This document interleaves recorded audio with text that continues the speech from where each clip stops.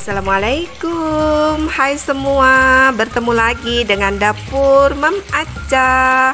Pada video kali ini Mam Aca akan membuat minuman Untuk berbuka puasa Yaitu es cincau. Untuk bahannya Yang pertama Ini sudah ada dua potong cincau hitam. Sudah saya potong seperti ini ya potong dadu atau sesuai selera. Kemudian ada es batu ada santan ini santannya panas ya masih panas.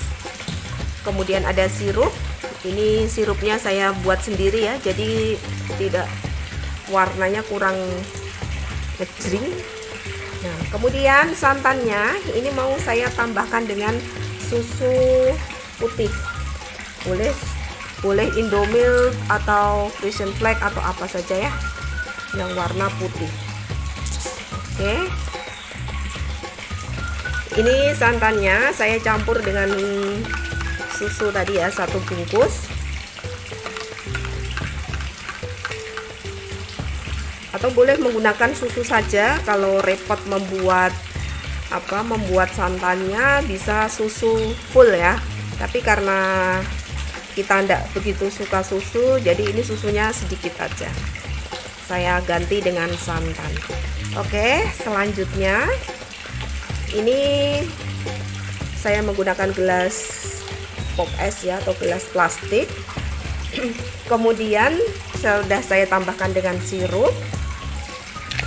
Ini pas kebetulan sirupnya ada ini rasa rambos ya tapi buat sendiri ini kemudian tambahkan dengan es batu.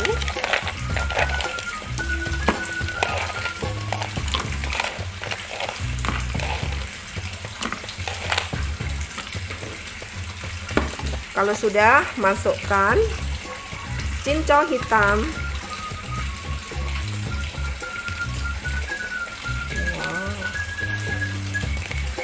Ini cincau hitam ini identik dengan bulan Ramadan ya. Setiap bulan puasa Ramadan itu banyak sekali orang yang jual atau orang yang buat cincau hitam. Atau buat sendiri juga bisa ya dari jelly.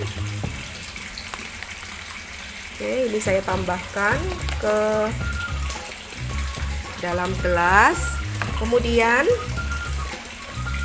kalau sudah tuang santan dan susu tadi tuang sedikit demi sedikit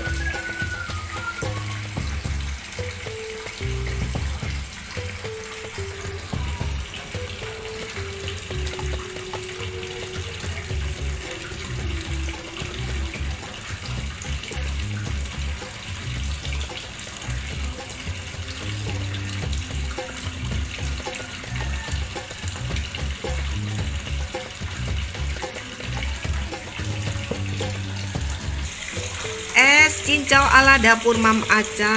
Sudah siap. Dan ini bisa dijadikan buat takjil. Wow cantik sekali. Buat ide jualan juga oke okay ya. Selamat mencoba selamat berbuka puasa. Terima kasih sudah menonton video ini sampai selesai. Jangan lupa di like di komen di share dan di subscribe. Semoga video ini bermanfaat Sampai ketemu di video selanjutnya. Happy cooking!